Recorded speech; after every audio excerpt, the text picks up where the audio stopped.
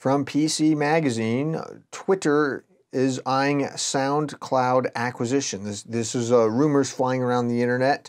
Twitter is rumored to be eyeing the German music sharing site SoundCloud as a possible addition to its stable of acquisitions since going public last November. The microblogging service is currently considering a deal to acquire SoundCloud.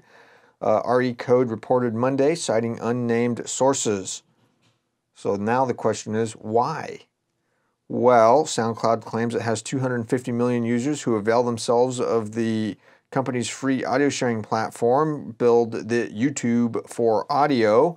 Uh, there's a user base that's roughly the size of Twitter's own, and though there's probably some major overlap between the two of them, Twitter may just want to buy some additional users after struggling with a with growth post IPO. So, who knows? 250 million users is nothing to to. that's that's actually a lot of users. Uh, it's nothing to be uh, uh, sad about for sure.